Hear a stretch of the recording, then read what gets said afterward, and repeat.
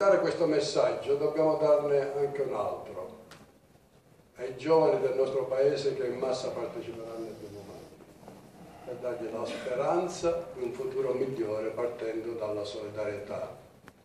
che non deve lasciare escluso nessuno e oggi anche i nostri giovani hanno bisogno di una solidarietà per la ricerca di un posto di lavoro che in questo paese diventa sempre più complicato. Io mi auguro che sia un bellissimo concerto e che faccia riflettere tutti noi sulle questioni che abbiamo di fronte e sulla esigenza di avere una solidarietà con un paese che cresce, perché se no gli egoismi continuano ad aumentare. E ringrazio ancora una volta tutti e buon primo maggio. Grazie segretario e cedo la parola al segretario confederale della CGL, Gianna Fragazzi. Buongiorno. Buongiorno a tutti, anch'io voglio ringraziare la RAI, il direttore Vianello, gli organizzatori, gli artisti che parteciperanno alla stampa che è qui questa mattina. Eh, giustamente veniva ricordato lo slogan del concerto, ma anche le tre parole che stanno come, dire, come sottotitolo lavoro, diritti, integrazione e da questo punto di vista io credo che il concerto possa costruire quel ponte, sia con le iniziative che verranno messe in campo a partire appunto dal, dai comizi dei tre segretari generali a Pozzallo, ma dalle tante iniziative che si terranno in Italia eh,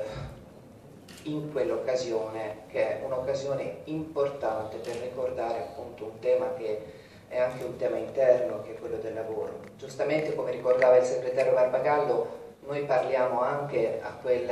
quasi 43% di giovani che in questo paese non lavorano e anche attraverso la musica noi vogliamo dare un messaggio di speranza, come ve l'ha ricordato, ma anche un po' di concretezza rispetto alle richieste che abbiamo fatto al governo sul versante dell'occupazione. Voglio segnalare sul tema dei diritti, oltre alle cose che giustamente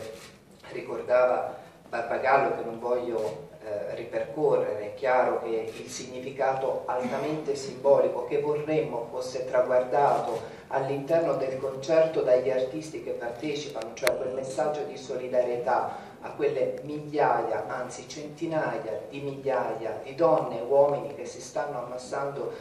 eh, si sono ammassate nelle coste eh, libiche per poter come dire, traguardare anch'essi una speranza di una vita diversa e anche di un lavoro. Quindi eh, questo è un messaggio sicuramente importante, ma è anche significativo un altro eh, passaggio che sta in quel sottotitolo, il tema dei diritti, perché Pozzallo, eh, oltre che appunto per le vicende legate ai temi dell'immigrazione che drammaticamente in queste ore eh, affrontiamo, mh, ci ricorda anche un'altra vicenda,